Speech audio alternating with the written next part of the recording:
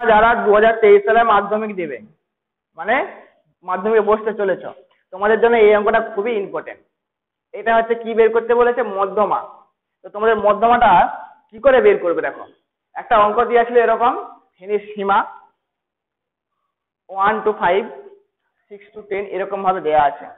তো যদি এরকম ভাবে দেওয়া থাকে, দেখো পাঁচের শেষ, ছয়ের শুরু, তাহলে এখানে একটা গ্যাপ আছে। তাহলে ছয় থেকে পাঁচ কত? এক। ওই এক মানে যে গ্যাপটা আছে ওটাকে দুই দিয়ে ভাগ করতে হয়, কত হবে? শূন্য দশমিক পাঁচ। যদি এরকম থাকে, তখন কি করতে হবে? শূন্য দশমিক পাঁচ এই নিম্ন সীমা থেকে বিয়োগ করতে হবে, উচ্চ সীমার সঙ্গে যোগ করতে হবে। দিয়ে তোমাদেরকে শ্রেণির সীমানাটা বের করে নিতে হবে।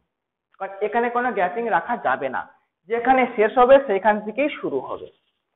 সেই জন্য দেখো এক থেকে শূন্য দশমিক পাঁচ বিয়োগ করলে কত হয়? শূন্য দশমিক পাঁচই হয়। পাঁচের সঙ্গে শূন্য দশমিক পাঁচ যোগ, তাহলে পাঁচ দশমিক পাঁচ। এখানে ছয় থেকে আবার শূন্য দশমিক পাঁচ বিয়োগ, তাহলে কত হবে? পাঁচ দশমিক পাঁচ। দশের সাথে শূন্য দশমিক পাঁচ যোগ দশ দশমিক পাঁচ। এরকম ভাবে সবগুলো করা হয়েছে। পরিসংখ্যা যে যেটা দেওয়া ছিল, লেখা আছে।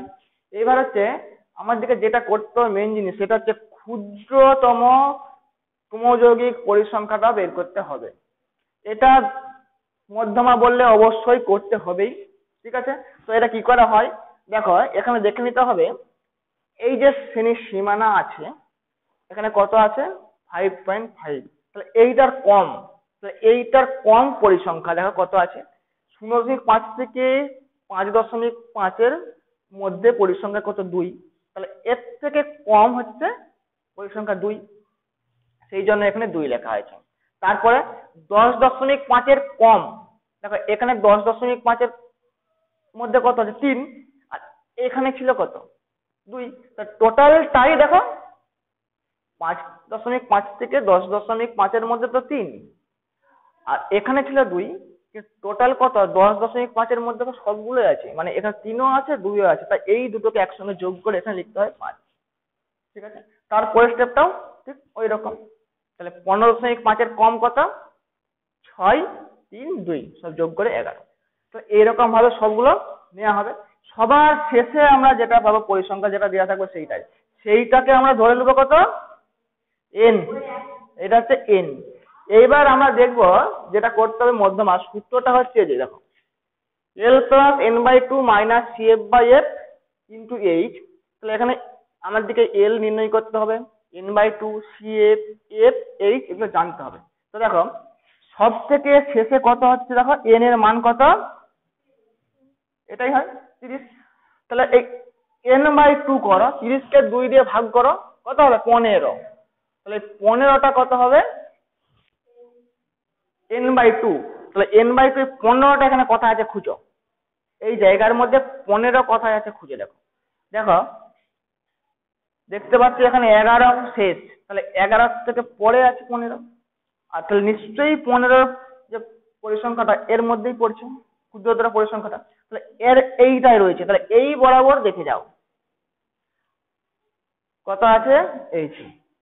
এইটাও তো আছে, কিন্তু আমরা এটা নেব না। কারণ গ্যাপ ছিল বলে আমরা সীমানা বের করে সীমানাটাই নেব। তাহলে এই সীমানার লোয়ার যেটা আছে, নিম্ন।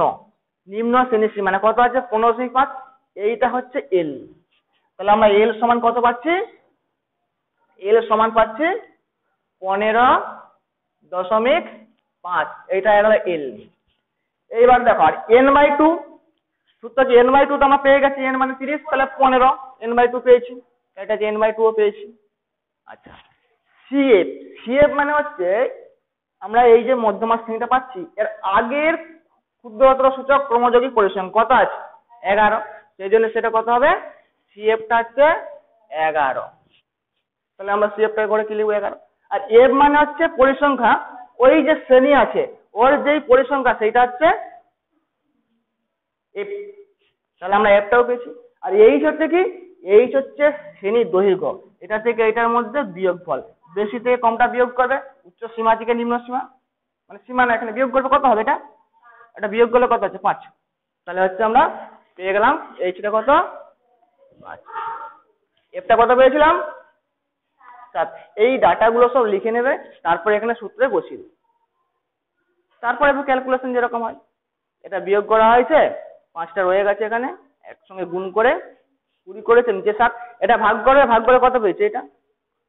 এই যে, এইটা এখানে দশমিকের পর দুটো, তিনটে, চারটে সংখ্যা হয় তো? তোমরা তিনটা সংখ্যা নেবে, তারপর দেখে নেবে আসন্ন মানে কত হচ্ছে। এখানে পাঁচের বেশি হয়ে যাচ্ছে বলে এখানে পাঁচ থেকে ছয় করে দেওয়া আছে এইটাকে যোগ করবে, তাহলে উত্তর হয়ে যাবে। এটা অ্যান্সার এটা শিওর পড়বে মাধ্যমিকে। ঠিক আছে? কত নাম্বার থাকে এটাই? চার নাম্বার থাকে, চার। চারে যেন চারই পাও। শিওর মধ্যমা পড়বে একটা, দুহাজার তেইশ সালে।